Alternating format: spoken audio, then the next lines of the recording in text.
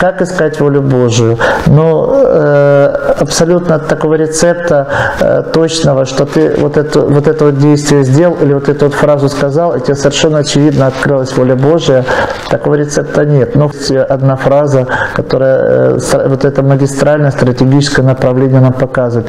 Надо быть максимально честным самим собой, стараться не выдавать волю э, свою греховную волю за волю Божию, стараться каждый раз спрашивать себя, а это Богу угодно, вот честно-честно, без всякой лжи или льсти, без всякого самообмана, угодно ли Богу вот это, или это я делаю по тщеславию, или я делаю по гордости, или я делаю еще по какой-то страсти, по сребролюбию это дело ради Господа. Вот если мы делаем что-то ради Господа, тогда мы живем по воле Божией. Надо этот вопрос задавать себе, может быть, не один раз и не десять раз, а десятки, сотни раз, может быть, всю жизнь задавать. Господи, что тебе угодно, как тебе послужить. И стараться от, отсечь свою волю. Не как я хочу, Господи, пусть будет, но пусть Твоя воля да восторжествует. Но обычно, вы знаете, воля Божия, она такая вот ненавязчивая, она э, такая нежная, отцовская, ласковая.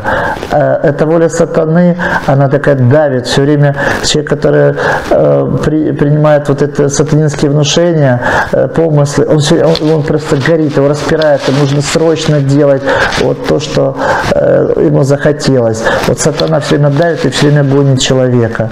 Бог никогда не давит и не гонит. Не гонит гонит. Он предлагает тихо, смиренно и кротко сделать то или иное. И если человек, услышал вот этот э, кроткий, смиренный глаз своей душе, может быть, не, конечно же, не э, чувственно, но вот какое-то появилось в нем желание такое спокойное, тихое сделать то или иное доброе дело, то можно засомневаться, и нужно, наверное, засомневаться, от Бога ли это, потому что святые отцы нас учат все, что в нашей душе рождается, не верить себе. Не верь себе, один из главных святоотеческих принципов.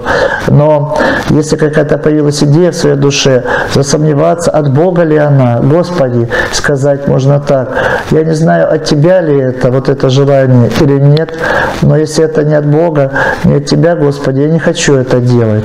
Я боюсь потратить время своей жизни и на, на пустоту. Я хочу служить Тебе и угодить Тебе, я хочу творить Твою волю. Я пока отложу в сторонку это дело, вот эту идею. И если это будет воля Божия, то через некоторое время э, Ты мне дай знать, как бы, я готов ее выполнить, но я не знаю, вот не уверен, твоя ли это воля. И человек спокойно может это в сторонку отложить. Если, допустим, это сатана навязывает что-то, сатана будет вот так вот долбить, он будет заставлять, он будет давить человека, гнать, совершить эту волю. А вот воля Божия не будет давить и гнать.